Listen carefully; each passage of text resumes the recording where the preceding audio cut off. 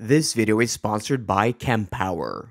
Hey guys, and welcome to another video with my good friend. Volvo Kristian. Thank you, thank you. Already welcome back. back. Welcome back. Thank you, thank you. We just did a video with the smart hashtag one versus the Volvo EX30. you got to, you know, throw up the gang signs. The I'm gang from signs. Fana in Bergen. You know the the hood. The hood. Uh, but you're actually from the hood. You're from Åsane, I'm Store from Åsane. Vaular, you know. And we have now started the Vapor Gang. Yeah, Yeah. we're the Vapor Gang. But we did a video you guys seem to like, so we're back with another comparison.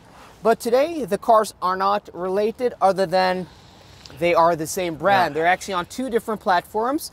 And this is an interesting comparison because today we want to find out if you're looking at, you know, a, a Volvo, an electric car from Volvo, maybe you're looking at a C40, maybe you're looking at an XC40, and you're thinking, hmm, should I spend that much money? Or maybe I should go for a cheaper EX30 because if you look at these two cars new, this is about 160 to 180,000 kroners, less expensive spec for spec, or Yeah. about 14 to 16,000 euros. At least new. At least new, but Yeah. also keep in mind that the C40 actually just got a facelift now.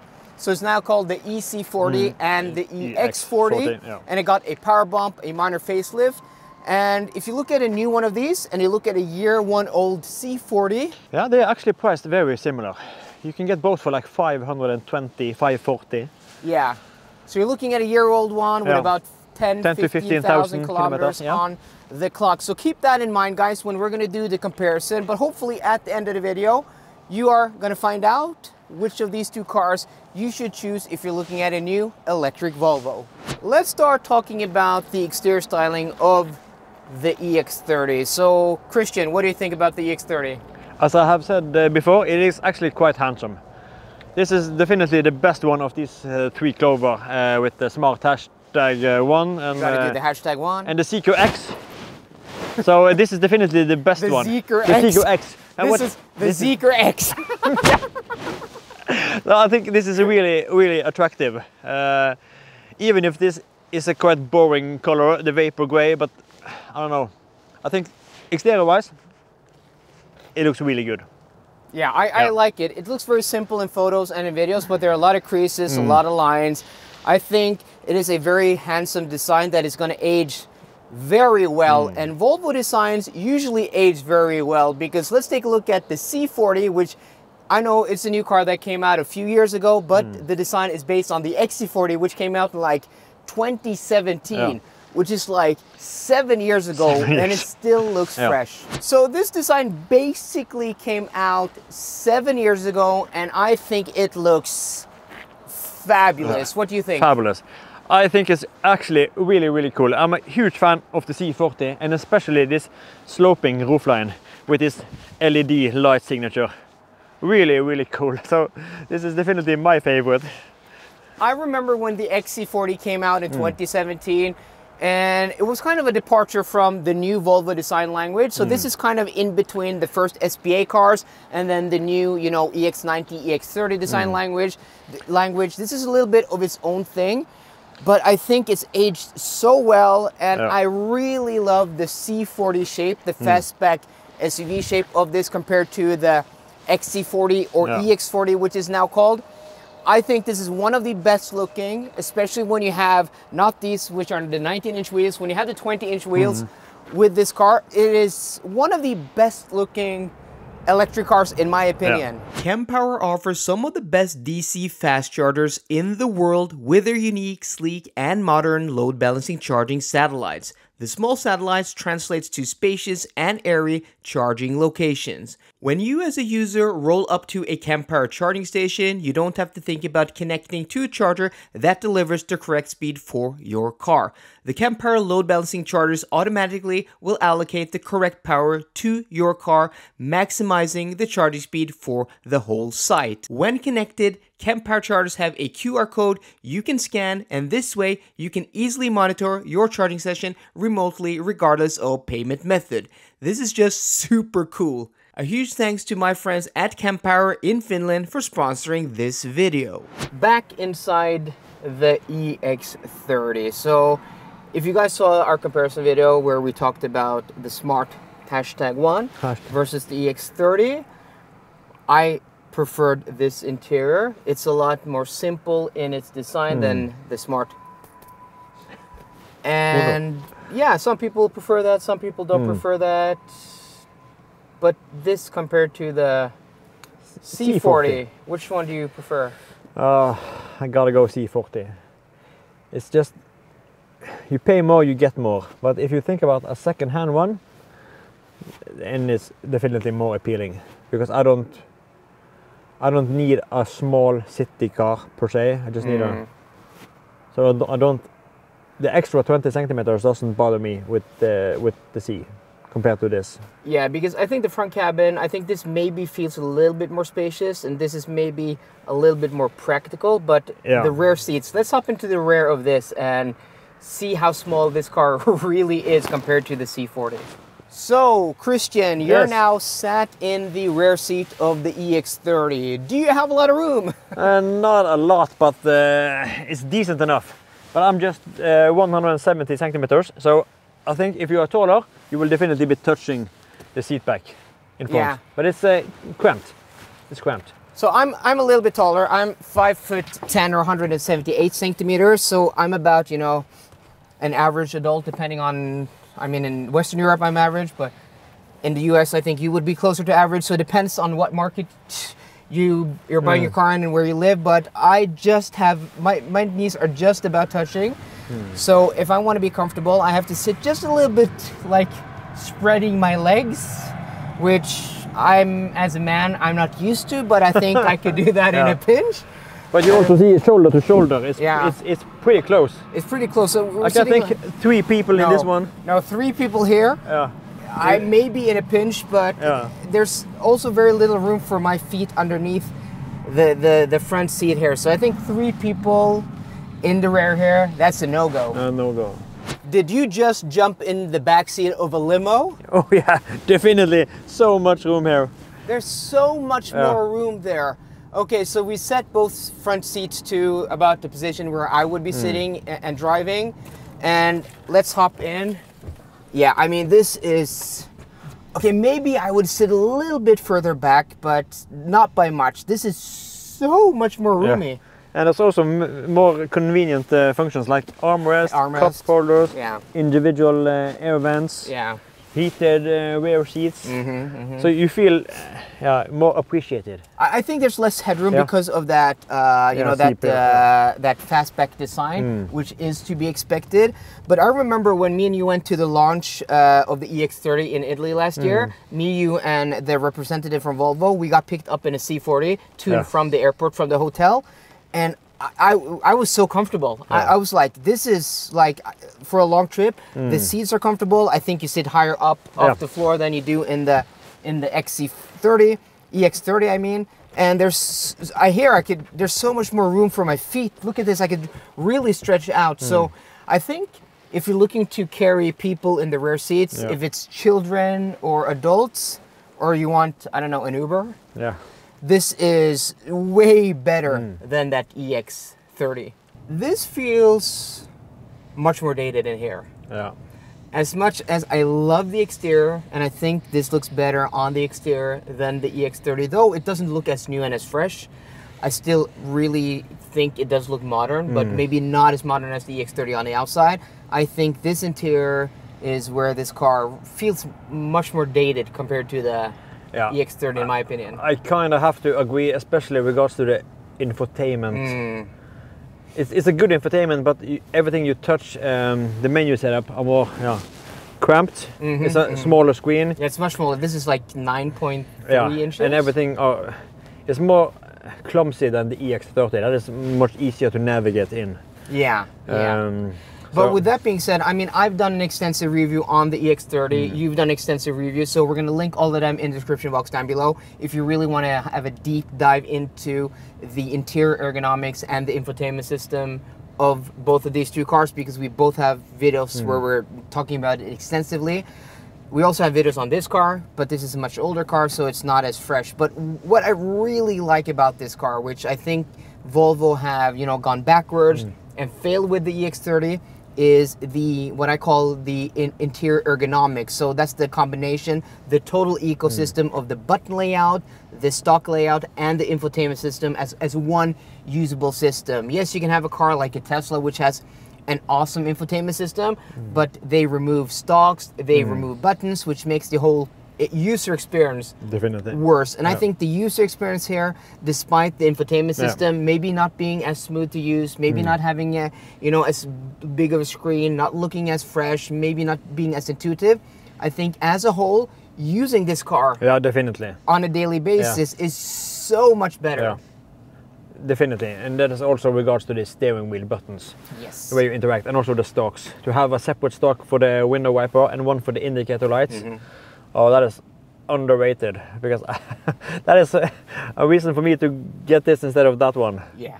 Um, exactly, exactly, and also the, like the interior design is is is is nicer, maybe more pleasant to the eye. Though that I do prefer the EX30, Yeah. and in my opinion, I don't think one is better than the other. I just think they're different. But I can hmm. understand that people thinking like the oh the EX30 is so simple, they've removed so much things. But I actually think like the fit and finish. I mean, Yeah. material quality here like is is is better in this car. Like there's softer hmm. touch plastics lower down in the cabin. The, the the materials are more expensive Yeah. in this car, but I think like the fit and the finish, like the gaps, the the, the tolerances of the interior in the X30 is an improvement. And Yeah. that's why I'm so excited about the Polestar 3, the Volvo EX90, because though maybe this, this the design has taken a step back, I think like fit and finish, the execution is better in the new car than the old car. Like the, the gaps here around the buttons and everything doesn't feel as premium as in the EX30 in my opinion. yeah. Interesting take. Yeah. But overall, I prefer this interior because you have buttons Mm. that work. They haven't buried like the distance uh, setting in the Yeah. Mm. cruise control is right here on the steering wheel. The the sensitivity on the auto wipers Yeah. is one, two, three, four, five, six, seven on the stalk Mm. Yeah. instead of just three in a menu. It, it is this is so much better in most ways than that new car. Definitely. Let's take the EX30 out for a drive first, Yeah. and hopefully we don't have audio issues as we had in our last video, yeah. Where I actually had to voice over both the hmm. driving part and the outro. But before we have to drive, we have to put the car into drive, and then we have to turn off lane keep assist. Yes, I want to turn it off, and then you have to turn off speed limit warning. Oh, that doesn't give you a prompt. No. And then you have to turn off the most annoying thing, which is Settings, driving, Yes. safety. Safety. There's so Driver many alert. sub-menus, and then driver alert, Uh, get and up. then I also like to turn off the because even though you turn off lane keep, it still will um, it still will vibrate the steering wheel if you go over the lines. And now that it's winter, the weather is a little bit bad. Yeah. Or it's not winter anymore. I don't know. It's The cold of winter, outside. yeah. End of winter. The the line markings aren't always uh, you know clean or visible, Hmm. And then the car just vibrates all the time. But what's really interesting, as I showed now, is that you have to turn it off, and then you got a prompt like, "Are you sure you want to turn it off?" But what's really curious, if you want to turn off ESC, Yeah. you can just turn that off with without any warning. That's a fun That's little. weird. Yeah, yeah. That's weird. But if it's like, oh, are you sure you want to turn off lane keep assist? Yeah, that's But not- really weird. That's, I haven't even thought about that. No, I, th- I thought about that There's the no- other day driving. You know, you have you, you get a prompt if you want to change your lights from uh, regular lights to park lights. Then you get a prompt. Are you sure? When, So weird. Yeah, when you're That's changing so the lights. So why the heck do you see here? If you want to change to auto, you have to confirm it on the steering wheel. No, that's. uh, Are you yeah. sure you want to change? Yeah, that's really weird. But not ESC. So Funny. if I go off the throttle now, even though we are in one pedal mode, the car isn't in one pedal mode. And we actually filmed this when we wa was in, in Sweden. I left that part out of the video because we really critiqued it. But apparently, which the car doesn't tell you about, because if we go into um, Yeah. four-wheel drive performance mode, then one pedal mode doesn't work. Yeah. But when you turn on one pedal or when you turn on performance four-wheel drive mode, it doesn't tell you that No. one pedal mode isn't on. So if you go back and out again, where where's out? Here. Yep. And then you turn off one pedal driving mode, it's off. And then you turn it on, it doesn't tell you, oh, you are in performance No. mode, it won't work. It just doesn't work like now. That's so weird. Like this car telling you a lot of things, like, are you sure about this and this? yeah. It's really bad at uh, informing you. Mm. So in my review, I got a lot of critique, or I didn't get a lot of critique. Most people in my review, which which was on the single motor version, which was titled "Hard to Recommend," Yeah, that one. Yeah. people are like, "Oh, you don't recommend it at all," and I'm like, "No, I said it's hard to recommend. That's not the same as not recommending." Hmm. No, no, no. I mean, if something is hard to recommend, it's hard to recommend. That's not the same same thing as not recommending it. Um, but I find it hard to recommend because of all the software issues with Yeah. this car. And again, go watch that video if you want, uh, you know, in depth of Hmm. what we're talking about. But I just want to touch upon it quickly because me and probably not Kristian either, we can't review a car based on future promises on improvements or some people's thought of like, oh, this can be better or this can be better. Yeah. We have to review the product as, As is. it sits now. Right, yeah. right or left? Uh, you could do left. because we don't know if they're going to fix it. You No. guys don't know unless you actually are the software engineers at the different brands. So, like, it's all up for grabs. So, we hmm. have to review the product as it is. So, enough about that. But what I really like about this car, which I think I like better than the C40, we're gonna jump into C40 after this driving section, is the way this drives Yeah. Because I think the suspension tuning here, the balance between ride and comfort is better than in the C40. Mm. Yeah. This is still very comfortable, but also at the same time, it doesn't feel heavy. It feels sporty. Mm. The steering tuning is just more natural, in my opinion, and also it's quieter. Yeah, that's. Uh, There's less road noise, Yeah. and I hope that's true for this comparison. I Mm. haven't driven the C40 like in maybe three or four months. But this is on 20 inch wheels and that's on 19 inch wheels. Yeah. So maybe the difference is smaller than I remember, but I'm pretty sure that this is a lot more quiet. It is at least more quiet, but I think the wheel arches uh, or the wheel uh, house are not so good isolated in the EX30 versus 40. Because when I'm driving uh, on, um, it was like loose. Uh, You know, uh, after they have been um, instead of salt, we use Yeah, like uh, uh, like sand. sand or gravel, gravel. small, small. Uh, they were really noisy in the wheel arches uh, when I drove the 30 and the wheel arches are better isolated in the 40 Okay, but yeah. but um, on regular tarmac this is actually i also experience this to be a more quiet It's car much much less road noise. Yeah. So like it's less road noise, and then you're thinking, oh, maybe the wheel arches are better insulated. I don't know. It's it's really. I, I agree with what you're saying. I think there's more suspension noise in this. yeah, but you- i could hear the stones just uh, Yeah. hammering yeah, about Yeah, sure. yeah but uh, that's just uh, like two or three weeks at the Yeah, year exactly. when you have this uh, phenomenon with, with the gravel on the road Yeah. Yeah. So I think like this is really good to drive. All the things we don't like about maybe the interior with Mm. infotainment system, this car, in my opinion, redeems itself yeah in the driving Because- yeah, department. and, if they, and if they fix and improve the software, like this is a very close to being perfect car at Yeah. this price point. In my opinion, because Yeah, I really love the way it drives. This is like, I mean, people are excited about, and I'm even excited about the ID3 GTI yeah like the performance version with 326 horsepower, which is going to do 0 to 100 kilometers an hour in like 5.6 seconds. This, the performance, twin performance, has 428 horsepower, does 0 to 100 kilometers an hour in 3.6 seconds. This is Yeah. like the RS version of or the, the ID3R. Yeah. This is so much quicker than any other car in this class, even the Brabus. yeah yeah uh, it's like smart- uh, 0.1 the- yeah hashtag Brabus. That's yeah, 3.7, and this this is yeah, 3.6, yeah. and this is all-wheel drive compared to the uh, ID3 GT. GTI, which is going to be uh, called- GTX, not GTI. Yeah, Yeah, I, I misspoke, guys. Yeah. GTX, X, not yeah. GTI. and it doesn't have four-wheel drive as this one has. So No. uh, this this is, uh, but as I said, with time this is going to be a real real treat. Yeah, Because yeah. give it like four to five months, when you have gotten a couple of uh, over-the-air updates to Mm-hmm. tweak this, then you got a real winner in, Yeah, in this car. I love the way this drives. I like Yeah. the fact that it is small.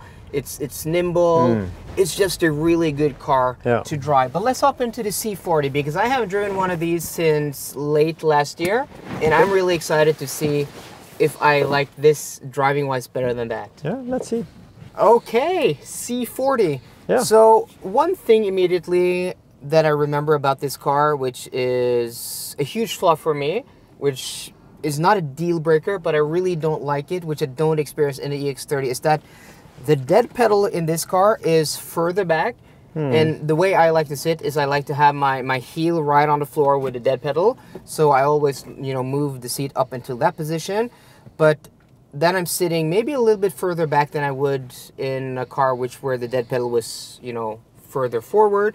And when I d- then try to adjust the steering wheel, I just have a little bit too little reach in the Okay. steering wheel in this car. I don't have that issue in the Yeah, Volvo EX30. So I mean that's something you guys have to you know look into. Yeah. With this car, I have an even bigger problem in the Polestar 2 because that car you're sitting lower here. At least you can you know adjust the seat up and you can find a comfortable seating position. It's only a minor thing. Hmm. I for me it can be a huge issue, really not, and it's not a deal breaker. But do we have to turn off assistance systems in this car? No, Nothing. nothing. Okay, so this is that's you know for this comparison, like this won't apply to the EX40 uh, No. and the EC40, but that is because this doesn't follow the brand new EU regulations, which you know manda- has mandatory speed limit warning, Yeah. which has mandatory lane keep assist and mandatory driver alert system. This has none of that. Nothing.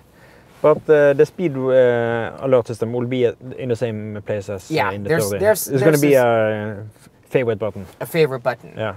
So I mean, I've talked about this many times in my videos, and people are like, "Oh, you're so dumb, Kris. You're criticizing systems that are mandatory." I'm not criticizing the systems being there. I've read the actual EU regulations, like from from from from start to end, because when you guys started commenting like about regulations, I thought I should read them so I know what I'm talking about. I'm not criticizing the fact that there are regulations. I'm criticizing the way the regulations are implemented in mm. the different cars, and that is very different from car to car. Yeah. Because oh, that's so nice that it's so easy to turn off the heated steering wheel in this car. Oh, there- there's things about this infotainment system that is so much more better than that uh, EX30.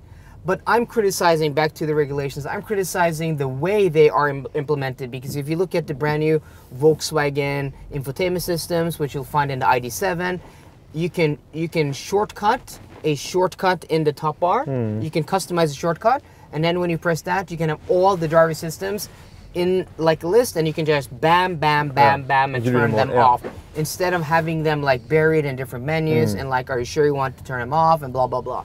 So that's what I'm criticizing the actual implementation, which is very much up to interpretation. If you go and read the EU regulations, there's n- no guidelines of how you have to interpret, how you have to implement them. It just says what they have to be. Yeah. Like, so they don't have to be buried in menus. There doesn't have to be a prompt every time you're turning them off, like, are you sure? They can just be as they are in hmm. Volkswagen's latest. And that sounds actually like a better idea, a better Yeah. interface between you as a driver and, and, and the safety systems. Yeah. If you want to turn them off, just let them be easy accessible at, at least. Mm-hmm. Because now it's kind of clumsy and you have to, so many steps and sub menus you have to, what uh, are you going to do? I'm gonna turn on one pedal driving. Yeah, uh, actually the XC40 and C40 has automatic one pedal driving as well. Automatic? What Auto- is- automatic is, is supposed to be like uh, predictive or something. It's supposed to. Uh, oh, is it, does it use the cruise control so when there's a car in front of you? So if there's no cars in front of you, uh, the one pedal drive would let go, uh, so you can just roll further. But if you have a car in front of you, it will uh, use the one pedal drive and uh, engage the regenerative braking. I hate that system. yeah, I it is actually quite crappy as well Yeah, it's so because it's so unpredictable. Yeah. You don't know. Are, are the car braking now or the car? yes. I, I, I absolutely hate the one Yeah, pedal I- in the I automatic. Yeah. I had that in my Audi e-tron 55 back Yeah. in uh, 2020, Okay. and it's so terrible to use. Yeah, because it sounds like a good idea, but I actually don't like it because I don't, it's so unpredictable. Mm-hmm. Um, that I can't know what, what, what the heck it's supposed to do. So, but I never use the one pedal drive. I just have it on off. But Yeah. So, what I really like about this car, obviously, I think there's a little bit more road noise in this, and also this is on smaller wheels than that car. But I can hear it like there's more resonance Yeah. from the rear, especially. Uh, the front end seems to be better insulated than the rear. It's like very apparent that the road noise is more from the back of this car, which is really interesting. Yeah, I sometimes have a lot of wind noise in, uh, on my left. Yeah. But obviously you are closer to the left side than the right side, but I feel like there's slightly more wind noise. and a lot more body roll going into the turn here. Yeah. So the suspension feels stiffer, like over bumps. It's not as um, as uh, supple, but also it you feel the weight of this car. But also you do sit a lot higher, and I really like that. This Yeah. like feels like a proper SUV, where the EX30 is like a pseudo SUV. Most cars in this class, like the Skoda Enyaq, ID4. Uh, Q4 e-tron and Hyundai Ioniq uh, 5 and also the Kia EV6 you sit a lot lower you don't feel like you're driving a an Uh, SUV. SUV, no, no. this you do Yeah. so if you if you're looking for you know that SUV driving experience I think this is better yeah this is a lot more noisy A lot. Yeah, slightly. but I think it feels quicker Yeah. It's even though it has less power, even though it's heavier, and even though the 0 to 100 kilometers an hour time is like 1.1 seconds slower, Hmm. this I prefer the the old Volvo uh, Yeah, EV drivetrain calibration. But there's also a different. Uh, there's also a different setup uh, on uh, when you engage the all-wheel drive in this versus the EX, because in the EX you have to uh, use the clutch, but this is just uh, a- asynchron or something, so it will. Uh, Oh yeah, yeah, yeah, yeah, sure, sure. Yeah. Um, but Um, we were driving, yes, Yeah, sure. but you had it in performance. We so had it in performance. Yeah, Yeah, so this is a permanent four-wheel drive system. Mm-hmm. So the front motor's always engaged. No, N- not on 24. not on 24. You Ah. primarily in the rear, but uh, when hard acceleration, it will uh, engage. But it engages pretty quick. And this is a 24. Yeah, this is a 24. I did not feel that because in the EX30, when you don't have that all-wheel drive system, you can either have it uh, completely uh, connected or it's automatic, right? Yeah. And when it's not connected, when it's automatic, it actually it decouples and couples with a physical clutch. Yeah, with the clutch. Therefore, there's a little delay, but Yeah. the delay here is just minimal. So I prefer that driving wise, though this is more luxurious maybe. This Mm. is it, it's very different. That that feels more modern and more balanced, but I still like the way this drives. It, Yeah. still drives really nicely. Drives so really well. let's hop out of the cars and get to a conclusion and yeah, find out what is what Mm. and which will we choose. Time for a conclusion. Uh, you go first. Yeah, uh, if you're thinking about new versus new, then the price gap are pretty high. And Yeah. then this is quite appealing for the price. Because if you just have like 500, then it's a no-brainer. Go for the 30. 500,000 kroners. 500,000, yeah. Yeah. uh, for the all-wheel drive ultra performance, uh, the full enchilada. But if you think about a second-hand C40 versus a new one, then for me I would go the C40. There's something about the design, there's something about the driving.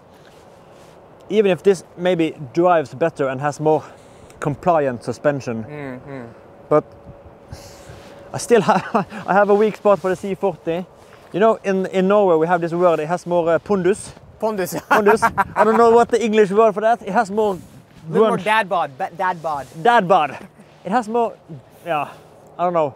A little more substance, maybe. Yeah, more substance.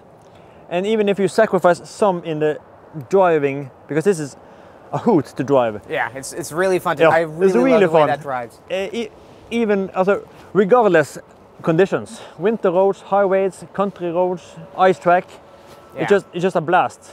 But I would sacrifice that to get the additional functions in the C40 and the more pondus. A, li- a little bit more substance. Yeah. If you're limited by a budget, and your budget is 500,000 kroners or about 48,000 euros, and you want or need all-wheel drive, or you hmm. want the performance, or you want a small car, I think it's a no-brainer. Go for the EX30 because this is just going to be too expensive if we're looking at new cars. Hmm. But I think my conclusion is pretty close to Kristian's conclusion. If it was between these two cars and I could get a one year old C40 for the same price, hmm. and especially because this car isn't finished when it comes to the software, I would rather go for this even though I prefer driving that because Yeah. I think as a package, especially with the older, you know, user interface hmm. with the buttons in this car. It is so easy to use. This is one of the few cars I've driven in the past few years where I get in and everything just falls to the Yeah. fingertips. It's so easy to use. It's a masterclass in interior ergonomics, and it's one of the few cars I'm not annoyed at hmm. with anything. Yeah. So, if you want one of the last cars where you can get in and you don't have to turn off a billion gazillion, you know, driver assistance systems, I say go for the C40 because that's what I would do. That's what Kristian would do. Definitely. And I just love the way this looks. Yeah. That car may be boring in vapor gray, but I think this is stunning in vapor gray. Looks pretty good. So, guys, let us know which you would Yeah. like What car would you go for? in the comment section down below. And also, if you like these comparison videos with me and Kristian, comment down below, give this video a thumbs up, and let us know which car you would like us to compare hmm. for the next video. So, guys, I hope you enjoyed today's video. If you did, please drop me a thumbs up down below. And for more car content, as always, please subscribe. See you guys later, and goodbye.